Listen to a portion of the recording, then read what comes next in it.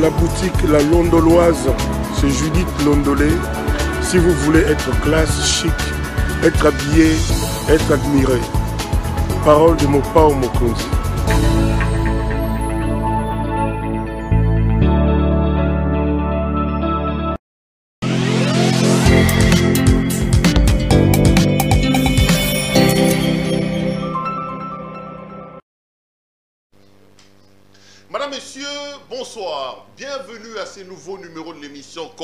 Soit dit votre magazine que vous avez d'ailleurs de suivre quotidiennement ici à CPN Télévision. On prend des questions importantes qui retiennent l'actualité politique, sociale, économique ou même juridique, hein, ici en République démocratique du Congo et ailleurs. On les met sur la table et nous tentons de leur donner un sens ou plutôt une forme avec un invité sur le plateau pour en débattre.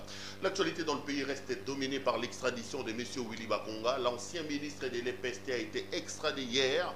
Selon les informations, à ce moment ici, il se trouverait en train d'être auditionné dans les locaux de la DGM avant, euh, après d'être transféré au niveau du procureur après la Cour de cassation. On en parle dans cette émission. On reviendra sur le gouvernement Samalo Kondé avec tous les piliers que le Premier ministre a égrenés devant la Chambre basse du Parlement. Faut-il croire à cela ou on est plutôt dans le cadre d'un chapelet des bonnes intentions? Et puis on finira peut-être avec le déplacement du président de la République en France.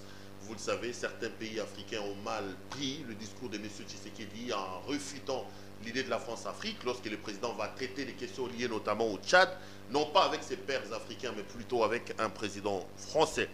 On parlera de ça. Pour en parler, quelqu'un que vous avez déjà vu plusieurs fois dans cette émission, ce n'est pas la première fois qu'il vient me voir, c'est M. Babi Balukuna Bila. M. Balukuna, bonsoir. Bonsoir Perrault. Toujours un grand plaisir de vous avoir sur le plateau. hein. Ce n'est pas la première fois, vous êtes un habitué de cette maison, bienvenue. Vous êtes à Kinshasa. L'Europe, apparemment, ça ne vous intéresse plus. hein. Vous êtes de moins en moins là-bas. hein. Mais euh, je mène un combat sur place ici depuis plusieurs années et je ne vois pas pourquoi je serai euh, tout le temps en Europe. C'est quoi le problème? Certains qui voient mal, je veux dire, cette invasion, euh, euh, invasion de la diaspora ici. hein. Ils sont pleins à la présidence de la République, ils sont dans les ministères. Dans le fond, on dit de vous que vous n'avez pas travaillé en Europe pour venir nous donner des leçons ici. Vous qui avez vécu ça en Europe, comment vous percevez ce genre de critiques ici à Kinshasa? Non, c'est un sujet qu'il ne faut même pas aborder parce que le Congolais est le même, qu'il soit à l'intérieur de son pays, qu'il soit à l'étranger, ça reste le- euh, euh, la même personne. Vous venez épuiser, vous allez Donc, acheter vos euh, appartements à Bruxelles, à Paris. euh, vous ne connaissez pas les réalités de- de- d'ici, les faux, réalités du terrain. C'est faux et archi faux. Par exemple, quelqu'un comme moi, je suis ici depuis 2007 sans interruption. Donc, vous n'allez pas continuer à me dire que je suis de la diaspora. Est-ce que l'expertise, les Congolais qui viennent de notre diaspora, est-ce qu'on peut compter sur cette diaspora-là? On dit que vous allez là-bas, non pas pour étudier, vous êtes dans les échafaudages, vous êtes dans la vente des pizzas, dans la livraison des ceci, mais ici, vous venez, vous bombez les torses, vous êtes dans des gros, dans des gros véhicules. Il y a quand même beaucoup de choses qui se J'ai racontent j'ai autour de dit la que je diaspora. n'entre pas dans ce débat, mais je dois vous rappeler Non, mais vous que êtes quand même membre de la diaspora. je- ne vous reçois pas comme tel, mais je veux quand même avoir votre témoignage, je, je vais vous éclairer un peu. Ce qui est bien en Europe, contrairement à ici, c'est que même quand vous trouvez quelqu'un qui balaye les rues, il y a une formation pour ça. Donc on se réveille pas un matin, on dit je fais. Même la vente des pizzas dont vous parlez, il y a une formation pour ça. La livraison, tout ce que vous voulez, on forme les gens pour cela. Malheureusement, ici, là où vous allez et que vous trouvez des grands boinas, comme on les appelle ici, ils ne sont pas formés. Soit ils ont leur diplôme sans contenu.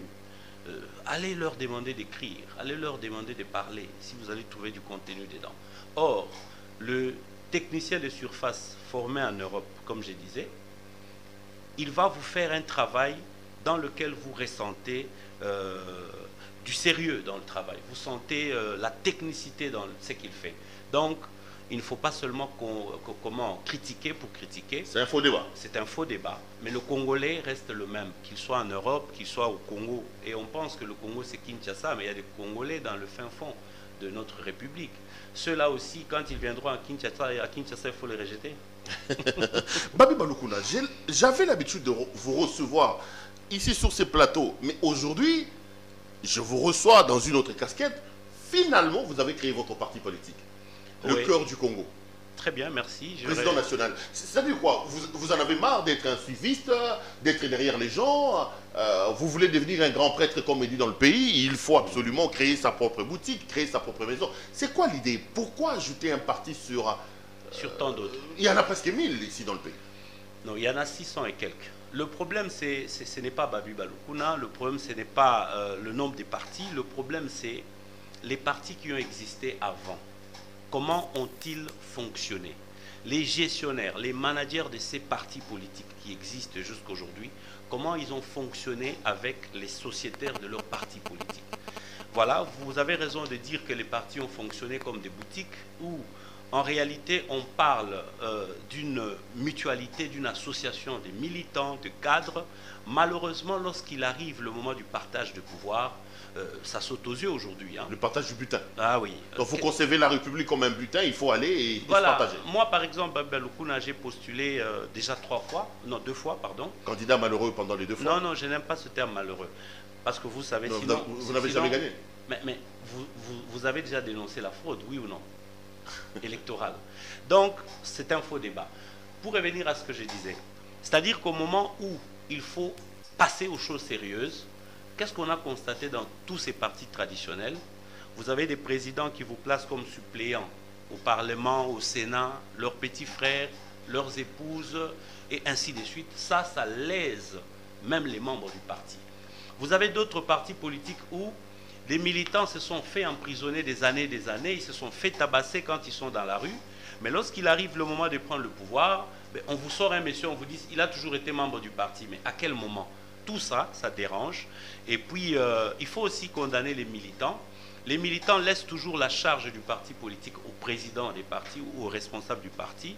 Ça confère à celui-ci un large pouvoir d'agir comme il veut, parce que dans un parti politique, ce qui aide le parti à subsister, ce sont les cotisations. Ça veut dire quoi? Ce sont les frustrations du fait que vous n'ayez pas été casé dans un parti politique qui vous amènent à créer le vôtre.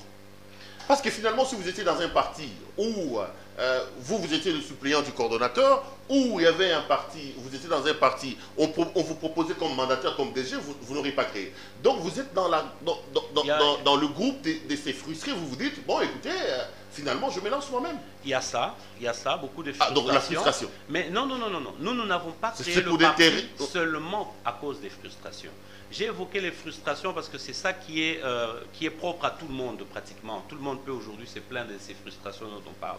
Mais euh, ce qui nous pousse, nous, à créer notre parti politique aujourd'hui, le cœur du Congo, c'est une question d'idéologie. Au niveau idéologique, cher, euh, cher Perrault, vous trouverez parmi les 600 et quelques partis politiques qui existent, surtout au Congo, on vous dira que la majorité d'entre eux sont socialistes, c'est-à-dire qu'ils sont des gauches. Pourquoi? Parce que dans notre pays, euh, la population souffre tellement, il faut apporter le discours du socialisme pour que ça passe. Mais euh, je n'ai pas envie de citer des partis politiques pour demain me retrouver avec beaucoup de procès derrière. Tous sont euh, social-démocrates. Tous, sont dans la social-démocratie. Voilà. Malheureusement, ils ont presque tous pris le pouvoir. On n'a pas encore ressenti le socialisme dans leur façon d'agir. Il y en a qui ont fait 18 ans, il y en a qui ont 4 ans, 10 ans à des différents postes même dans les villages, dans les villages euh, euh, des, présidents de ces partis, on ne sent pas le socialisme. Donc nous nous disons, nous ne pouvons pas continuer à œuvrer dans des partis où on dupe, on manipule, on escroque la population de par l'idéologie. Nous, nous sommes venus en nous disant, nous sommes de droite, clairement de droite. Nous sommes des conservateurs conservateurs des valeurs nationales. Nous sommes des nationalistes, mais des droites. Je ne parle pas de l'extrême droite. J'ai dit la droite. Nous sommes à droite. Parce qu'il faut que le Congo se capitalise. Malheureusement, à cause de ce discours de socialisme, regardez par exemple récemment, on a vu euh, l'Union sacrée venir.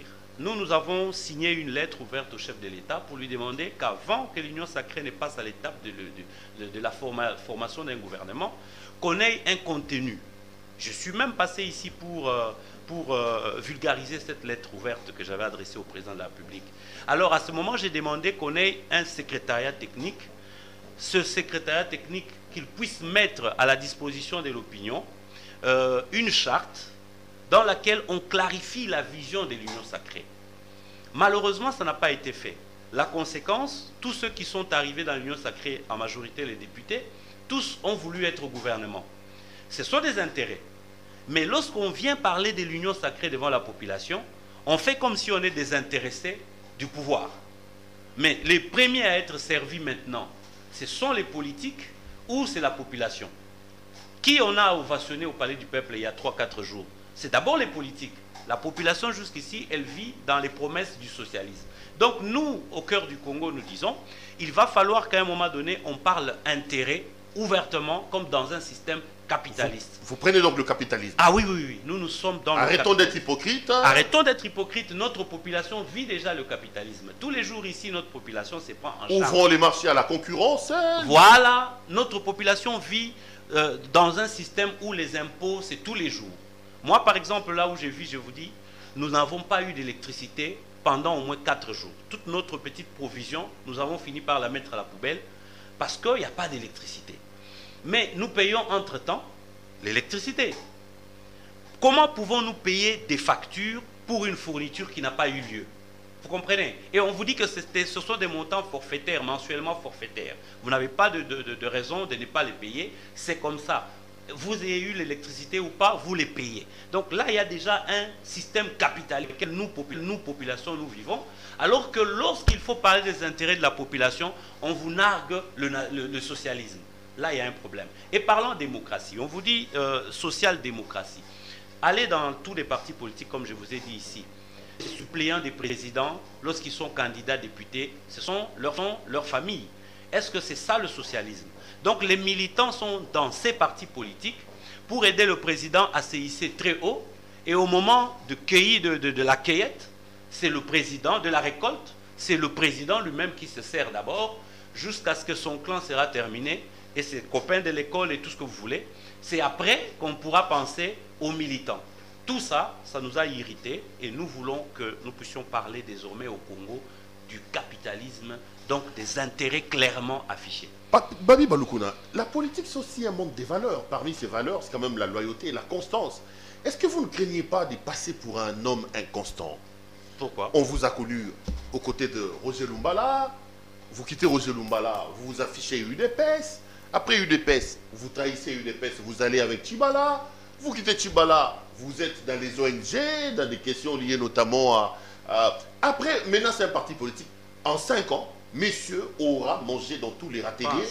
Je ne sais pas, 5 ou 10 ans. Euh, monsieur aura fait le tour de toutes les cuisines. Euh, aujourd'hui, il décide finalement d'avoir sa propre marmite.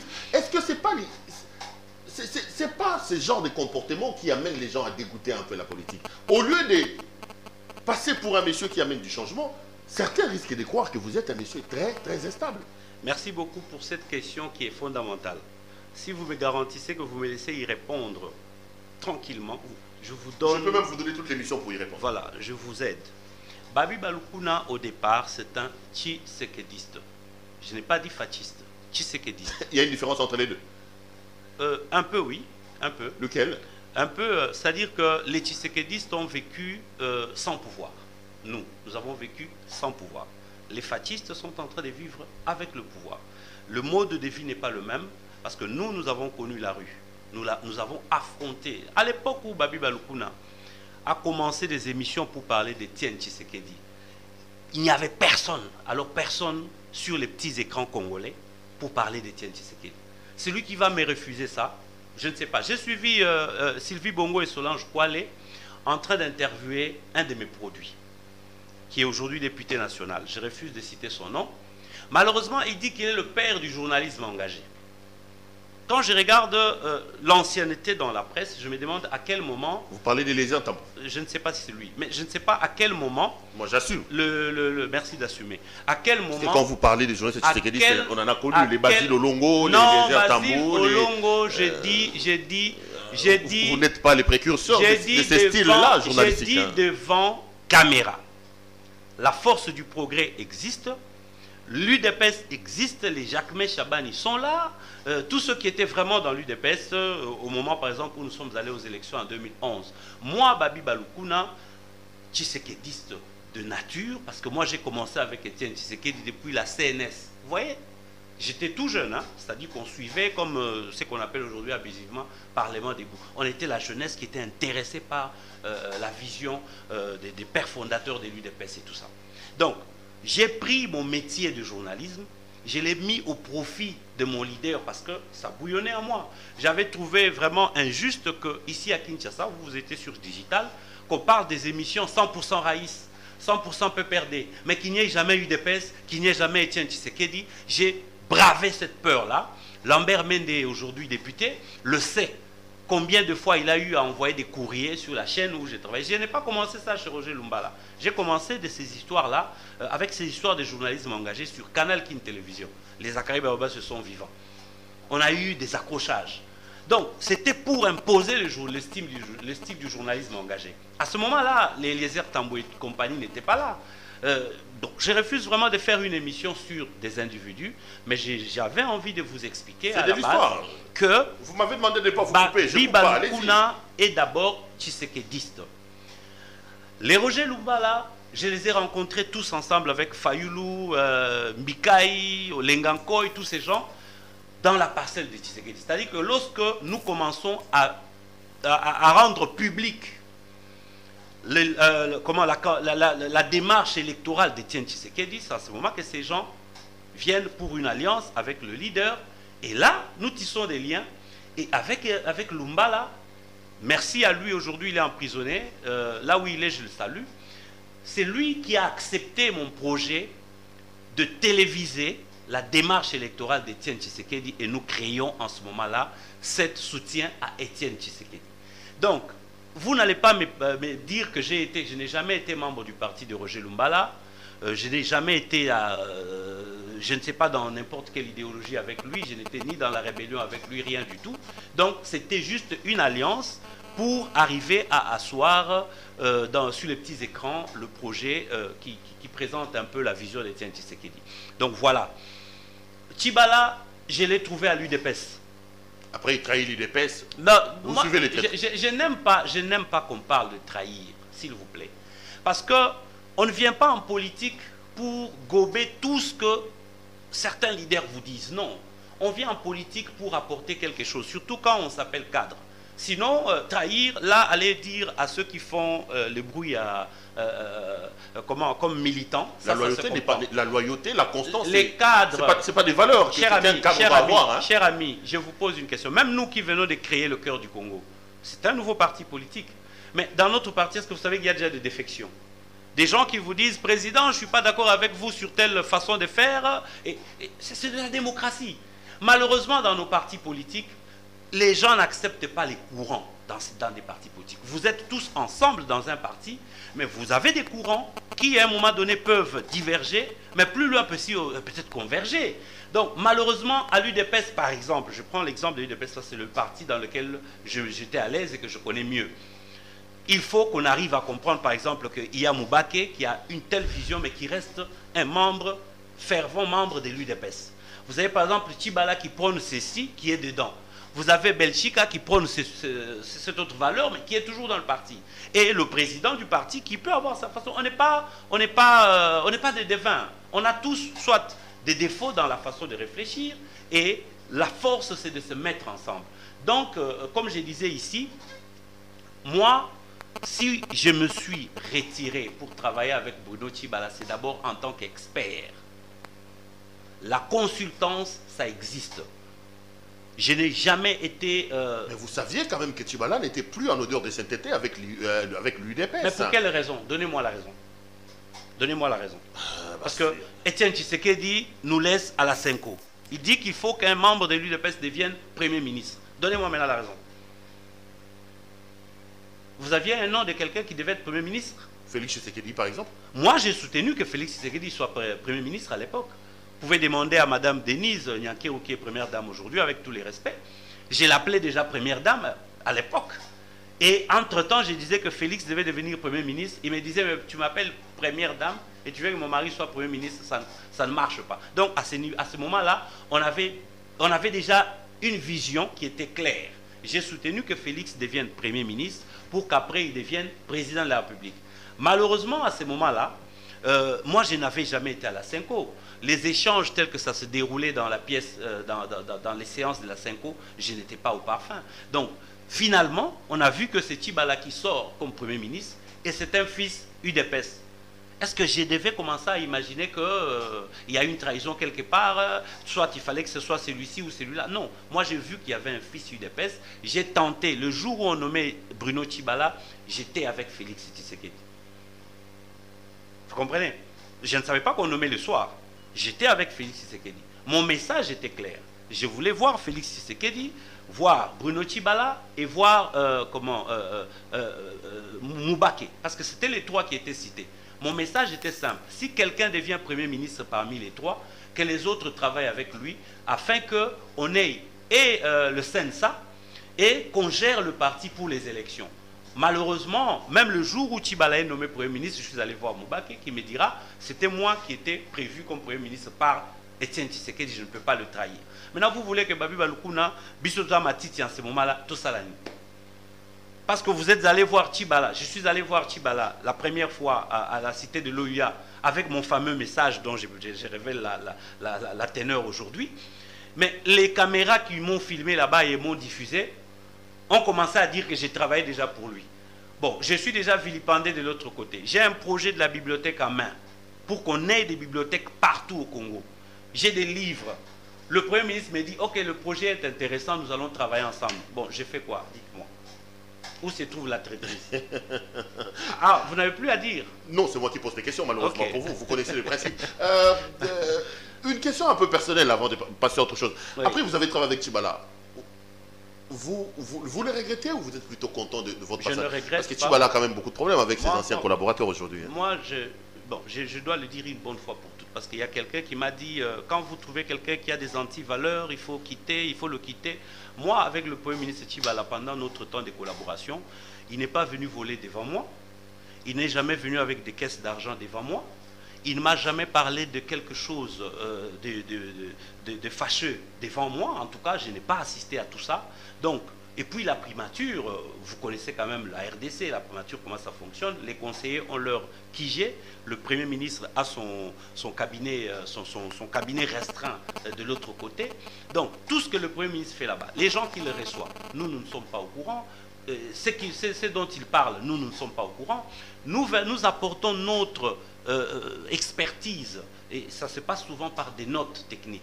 Nous écrivons des notes techniques, nous proposons des choses. Le conseiller n'est pas décideur. Donc, notre collaboration avec le Premier ministre Chibala, que je salue, s'est limitée à ce niveau-là. Je ne suis pas membre de sa famille, je ne sais pas comment ça se passe dans sa famille. Donc, quand vos anciens collègues l'accusent d'avoir détourné leur... Euh, vous ne confirmez pas, vous, on ne vous a jamais détourné. Hein, euh, vos salaires, vos primes... J'ai dit euh, ceci, avant d'être conseiller à la primature, je ne sais pas combien on payait un conseiller. Comprenez? Donc, quand je suis arrivé, on me présente une, euh, une note salariale, je la prends comme telle qu'on me la présente.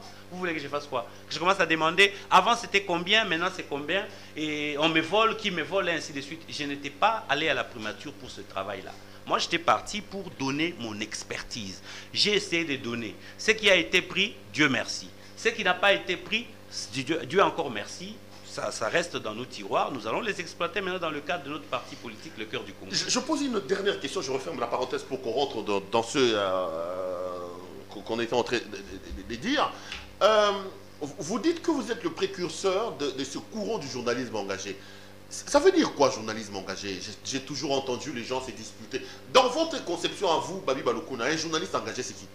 Bon, je vais, je vais faire avec vous comme j'avais fait avec Eliezer. Parce que quand j'étais en train de lui transmettre cette pensée, qu'est-ce que j'ai demandé à M. Eliezer Tamboué à l'époque? Je lui ai dit, prenez... Ah, c'est votre produit. Mais s'il refuse de le, de le reconnaître, ce n'est pas un problème. Il est député national, respectons quand même son rang, donc on ne va pas être là pour commencer à parler euh, de l'époque, de ses faibles commencements. C'est normal, tout le monde est parti de quelque part. Moi aussi, Babi Balukuna, je n'étais pas né Babi Balukuna. Je suis né avec mon nom, mais je n'étais pas, je n'avais pas la dimension que vous vous, vous, vous, remarquez aujourd'hui. Donc je suis parti de quelque part pour arriver là où j'étais arrivé, pour commencer à donner la chance à d'autres d'exister dans, dans, ce courant-là. Donc, euh, le journalisme engagé, c'est quoi? C'est ce que vous disiez à Eliezer à son temps. Oui. Je lui demandais premièrement de bien lire la Constitution du pays. Derrière la Constitution, les lois. Les comprendre. Et analyser la façon dont le pays fonctionne, la façon de gérer, le mode de, gouvernement, la façon de diriger, est-ce que ça s'est fait tel que prescrit par la loi? Si ça ne se fait pas ainsi, il faut dénoncer. Deuxièmement, le premier bénéficiaire de revenus du sol et du sous-sol de notre pays devrait être la population. Si nous trouvons que la population ne vit pas mieux, il faut dénoncer. C'est tout ce que j'avais demandé à Eliezer parce qu'à ce moment, il me disait, mais comment je vais faire pour parler comme toi? Je lui dis non, c'est simple, moi je n'invente rien, je prends juste la loi, je lis et ainsi de suite. C'est juste ça le journalisme engagé. Avoir le courage de dénoncer ce qui ne va pas. Tout en étant journaliste. Parce qu'à la base, selon le journalisme que vous avez étudié, le journaliste, c'est l'église au milieu du village. Donc vous n'êtes ni à gauche ni à droite. Maintenant, dans le cadre du journalisme engagé, nous disons non, n'est pas être ni à gauche ni à droite pendant qu'il se passe un mal que tout le monde voit, c'est être partisan de ce mal. Donc il faut dénoncer. Or, comme vous savez, la RDC, euh, depuis 60 jusqu'à aujourd'hui, nous ne sommes que dans le désordre. Et comment ne pas dénoncer ce désordre? En dénonçant, donc on, s'est fait appeler jeunesse engagée. Revenons sur euh, le cœur du Congo vous plantez le parti, euh, ça, se passe comment euh, euh, C'est un autre parti Mallette qui vient de s'ajouter ou vous avez déjà commencé les travaux d'implantation du parti à Kinshasa et ailleurs? Nous avons commencé dans la diaspora et ici même, nous avons déjà quelques représentations. c'est vrai que c'est une œuvre humaine et puis nous faisons cela sur fonds propres, c'est-à-dire les cotisations des membres. nous ne savons pas faire ce que les autres font directement ou euh, commencer à se comparer à tous ces partis qui ont déjà eu euh, euh, des postes de responsabilité et qui ont géré des fonds. Nous, nous faisons avec nos moyens à nous. D'ici peu, vous allez voir le vrai lancement du parti. Mais au niveau implantation, nous évoluons. Nous avons déjà un secrétaire général qui comprend quatre secrétaires généraux, c'est-à-dire un titulaire et trois adjoints.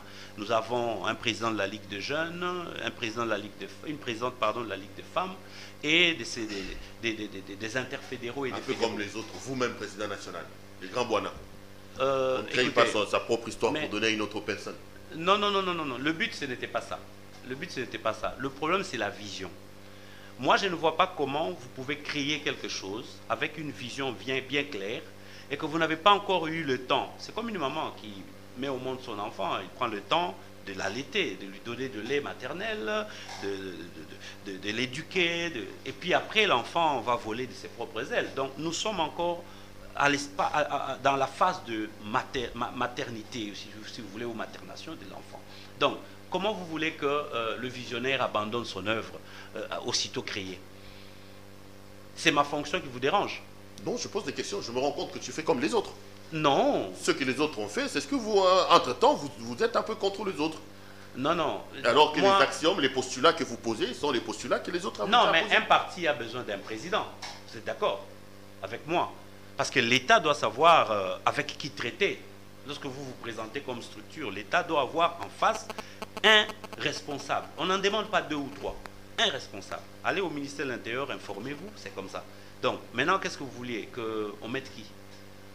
Les amis ont accepté et j'ai été proposé président. Je préside, j'ai un mandat. Lorsque celui-ci sera terminé, peut-être que si vous adhérez dans notre parti, demain c'est vous le président du parti. Non, je suis journaliste jusqu'à présent, donc euh, ma fonction ne me permet pas d'adhérer à un parti politique. Même si aujourd'hui on, nous attribue mais, le cœur du Congo, on nous affable un peu de tout. Le cœur du Congo, c'est vraiment, comme vous l'entendez, le Congo compte sur ses fils. Vous, vous êtes le cœur du Congo. Vous êtes le cœur du Congo. Et moi, je suis le cœur du Congo. Tous les Congolais font partie de ce que nous appelons le cœur du Congo. Maintenant, euh, quand le cœur arrête de battre, à ce moment-là, la personne n'est plus en vie. Le Congo est malade depuis plusieurs années. Heureusement, le cœur continue à battre. Et nous, nous nous sommes dit, comme nous sommes le cœur du Congo, nous allons nous battre maintenant pour aider le reste du corps à se restaurer. C'est ce que nous sommes en train de faire. Terminons le chapitre du cœur du Congo. Pour ce Congolais qui est intéressé par les discours, il fait comment? Vous avez un siège, vous avez un numéro? Euh, Il y a un numéro de téléphone. Euh, je peux donner le mien, vous allez encore dire que vous ne donnez que le numéro du président. Je n'ai pas le numéro du CG en tête, mais ils peuvent vous contacter. Vous, vous avez à travers le numéro de CPL, vous allez le mettre en contact. Appelez-moi au numéro qui s'affiche au bas de votre petit écran. Mais les sièges est où? À Kinshasa ici À Kinshasa, euh, nous sommes à Mongafula, momentanément.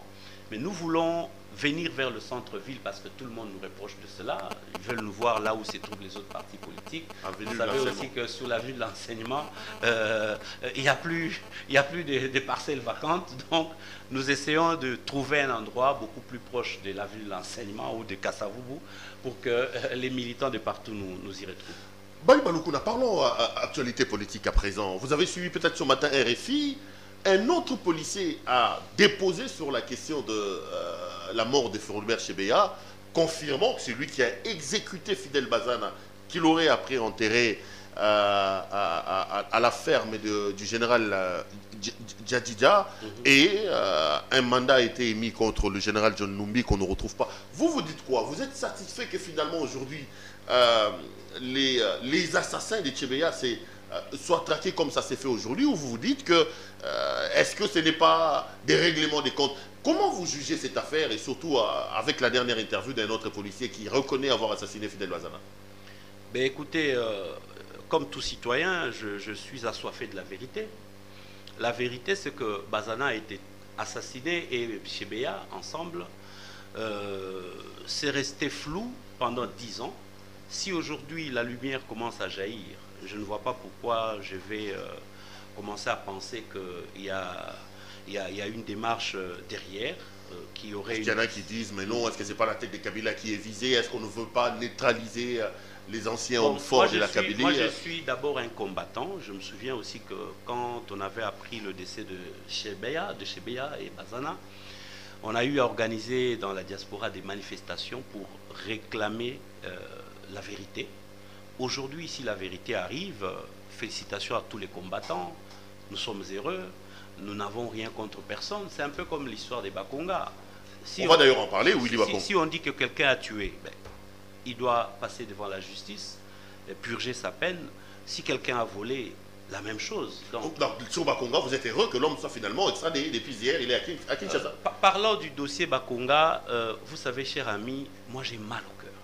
J'ai mal au cœur parce que je suis entrepreneur avec euh, notre projet de la bibliothèque dans le domaine de l'éducation. Plusieurs courriers sont partis sur euh, la table des différents ministres de l'enseignement Donc Willy Bakonga lui-même. dont Bakonga lui-même. Donc, ils sont tous au courant que nous, nous cherchons seulement que l'État s'implique pour qu'avec les livres que nous avons, que nous euh, avons emmagasinés en Europe, que l'État nous soutienne à mettre par commune de la RDC dans toutes les communes au moins une bibliothèque scolaire dans une école donnée. Et nous avons des livres pour cela, une quantité conséquente pour cela. Malheureusement, les différents ministres, je les cite aujourd'hui parce que je ne vois pas ce que je perds ou ce que je gagne. Nous avons vu euh, mon grand frère euh, Mikaï, Steve, avec qui nous avons même milité euh, dans l'opposition, avec Étienne Tshisekedi. Je l'ai vu plus de deux fois pour lui présenter le projet, face à face. Il a dit qu'il allait soutenir. Il n'y a pas eu de soutien. J'ai vu d'autres ministres et j'ai écrit aussi, nous avons écrit à Bakonga. Pendant ce temps, il n'y a pas eu de retour. Mais qu'est-ce que nous constatons aujourd'hui? Nous constatons des, des histoires, nous entendons parler des histoires au niveau de la justice qui nous troublent, des chiffres terribles qui ont été détournés dans le système de l'enseignement. Et je me demande, un homme à qui le chef de l'État avait fait confiance pour son projet de la gratuité de l'enseignement, se comporte de la sorte et veut même euh, euh, fuir la justice, ça, remet en cause la personnalité même de l'homme politique congolais. Je me demande à qui il faut faire confiance. Nos enfants ont besoin d'une qualité de l'enseignement. On leur apporte la gratuité. Monsieur le ministre en fait ce qu'il a fait. Malheureusement, j'entends le débat tel qu'il évolue, ça me heurte encore. Comment on découvre que ce monsieur est américain alors que la loi congolaise interdit la double nationalité dans l'exercice des fonctions publiques? Mais j'entends dire qu'on veut sauver son poste au Sénat, on continue à vouloir sauver son poste à l'Assemblée nationale, le poste de quelqu'un qui a usurpé notre nationalité. J'en appelle à la conscience des animateurs de ces deux chambres, l'Assemblée nationale et le Sénat. Monsieur Bakonga, s'il arrive à être certifié, parce que jusqu'ici, moi, je n'ai pas vu un document le présentant comme américain, mais la presse en a parlé. Si cela est vrai, je pense que ces deux sièges devraient être supprimés. Même pas confiés à des suppléants, parce que ce sont des sièges qui sont obtenus mafieusement. Alors, je ne vois pas pourquoi on doit continuer à parler des sièges de Bakonga et vouloir euh, parler d'une procédure qui tiendrait compte euh, euh, de, de, ses immunités sénatoriales, tout ça. Non, non, il y a un problème de compréhension. Si Bakonga est américain, on commence par supprimer ses postes et ses, mandats et on le poursuit autrement. Donc, le dossier Bakonga me dérange parce que nous, nous continuons à trimer avec nos livres pour arriver à réaliser ce projet d'une commune, une bibliothèque, une école, une bibliothèque. Non, mais Bakonga n'est pas un cas isolé, Je sais que votre cœur bat encore un peu pour, pour l'UDPS, c'est M. Tshisekedi.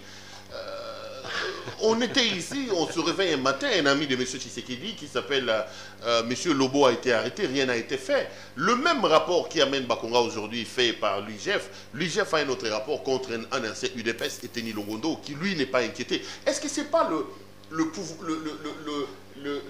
dire, la justice des plus forts? Est-ce que ce n'est pas un règlement des comptes? Parce que ça commence à donner l'impression que Bakonga paye effectivement pour ce qu'il a fait seulement parce qu'il est un ancien PPRD, un ancien kabiliste. Aussi autour des l'UDPS que vous avez soutenu, pour lequel vous avez encore quelques sympathies, il y a aussi des cas Bakonga qui ne sont pas punis. Oui, Bakonga reste un exemple, comme vous venez de le dire, un échantillon sur tant d'autres je demanderai tout simplement à la justice de continuer à faire son travail pour que l'argent de l'État, l'argent du trésor public soit épargné de ce type d'escroquerie. C'est tout ce que je peux demander. Parce que s'il faut que je commence à vous parler de l'UDPS, de PPRD, non, je, je, ne sais pas ce qui se passe dedans. Je ne sais pas s'ils sont encore... Euh, le président avait dit que cette alliance était finie. Donc, moi, je ne sais pas si ce sont des règlements de comptes. Je ne suis pas là où ça se décide. Je ne sais pas vous dire, euh, faire des commentaires, pardon, sur des choses que je ne maîtrise pas. Babi dans l'actualité dans le pays, c'est aussi la sortie du gouvernement. Finalement, ils ont été investis.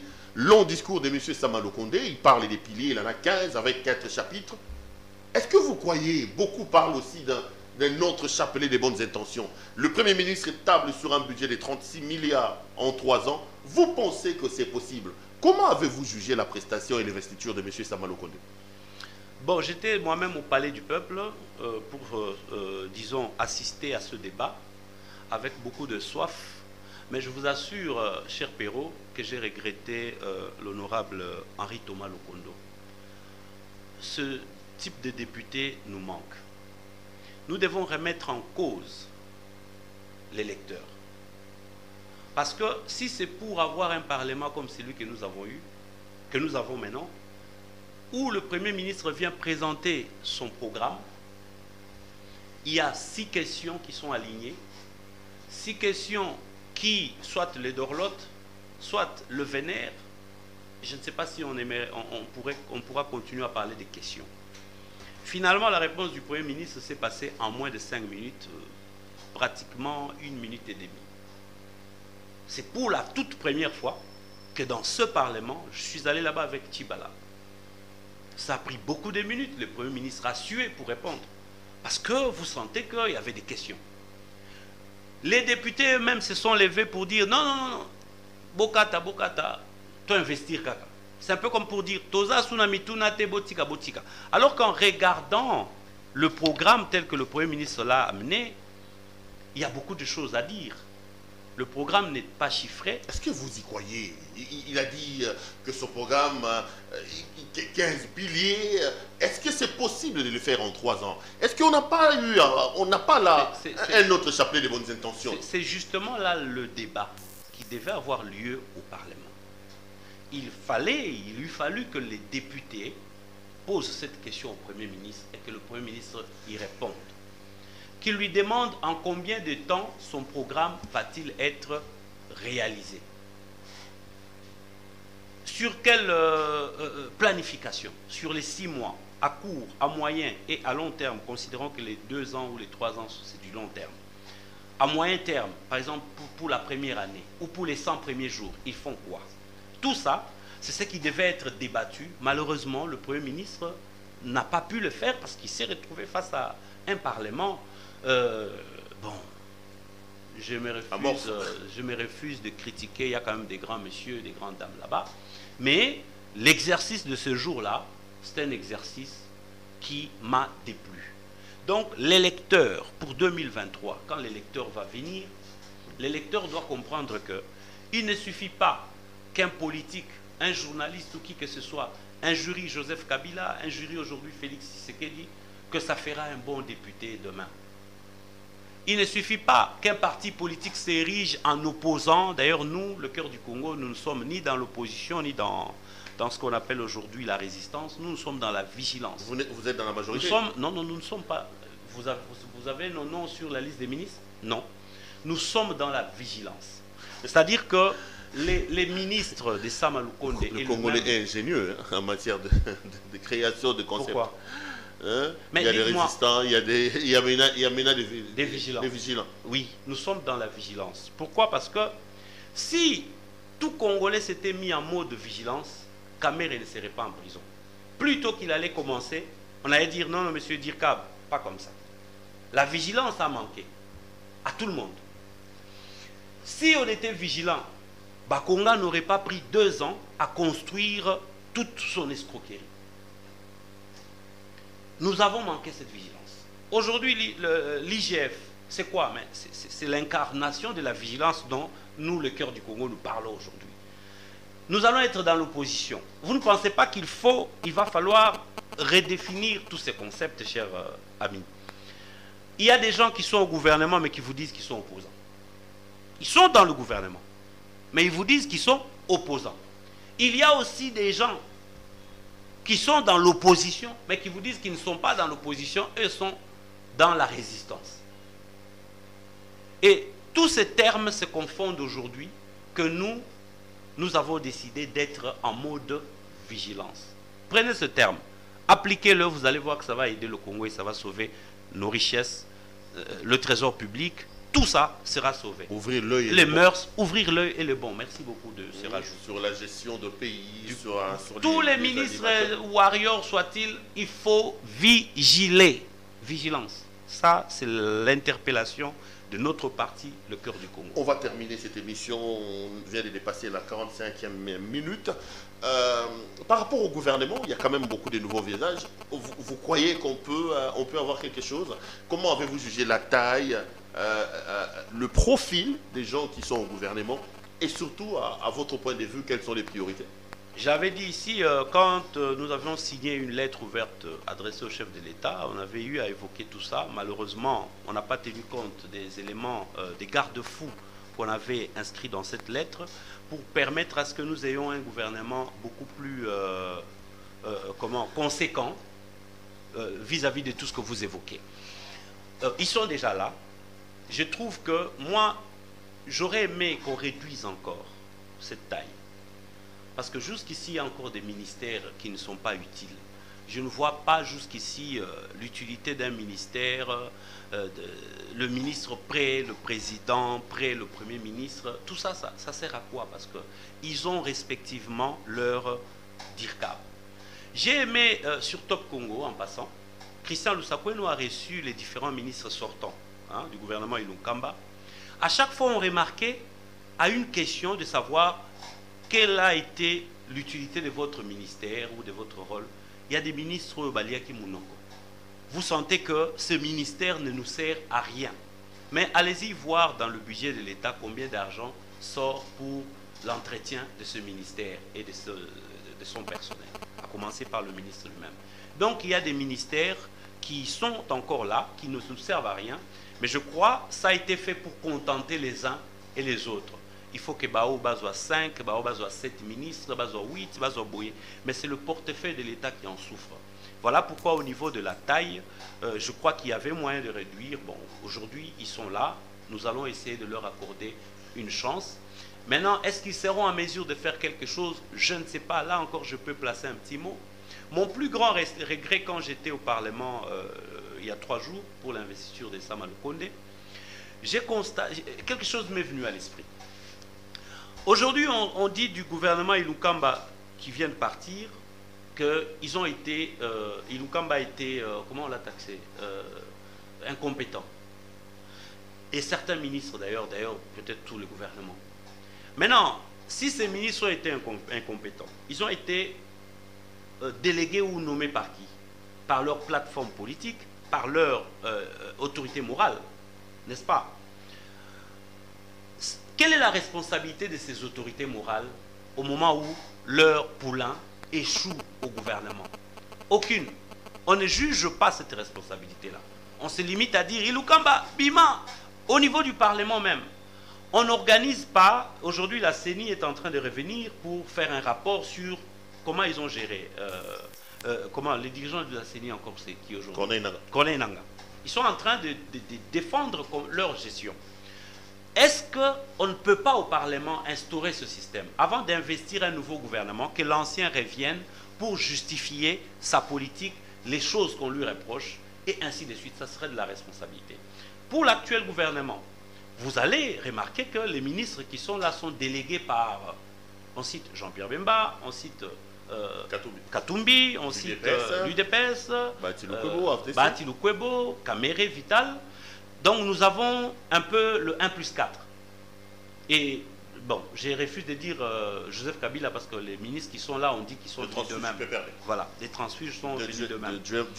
bon, quelle sera la responsabilité de ces nommants C'est-à-dire les cinq personnalités qui ont délégué des ministres? Si leurs ministres se comportent par exemple comme Bakonga, par exemple, ils volent, ils euh, s'extirpent vers Brazzaville ou l'Angola ou je ne sais où, et le monsieur qui avait délégué, qui avait envoyé ce ministre, sa responsabilité vis-à-vis de la République, c'est quoi? Rien du tout. Et après-demain, quand on revient encore autour d'une table pour mettre des ministres, nous, nous n'allons pas entrer parce que nous ne sommes pas dans, dans, dans, la grâce de ces cinq personnalités. Mais ce sont les mêmes personnalités parce que oh, le président les a appelées comment? Les personnalités représentatives de, de quoi? De, de, la nation. De la nation. Et parce qu'elles continueront à être représentatives de la nation. Quand elles viendront, elles vont encore proposer des ministres qui viendront piller, voler, se méconduire.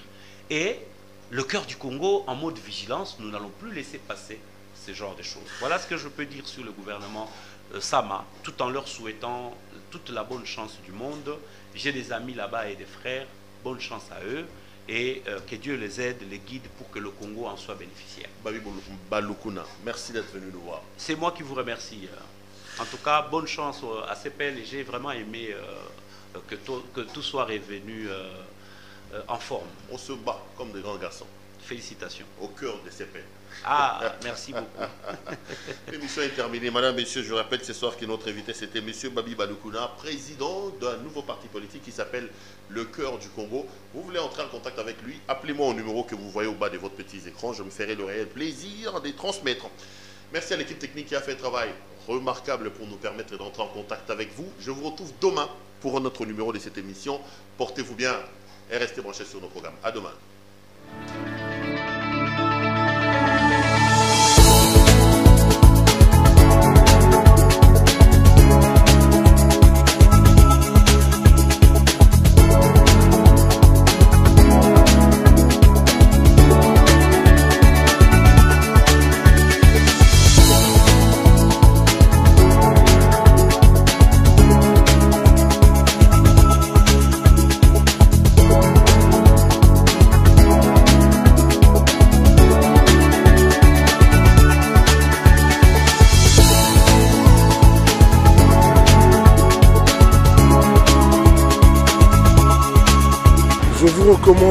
La boutique La Londoloise, c'est Judith Londolé. Si vous voulez être classe, chic, être habillé, être admiré. Parole de Mopao Mokonzi.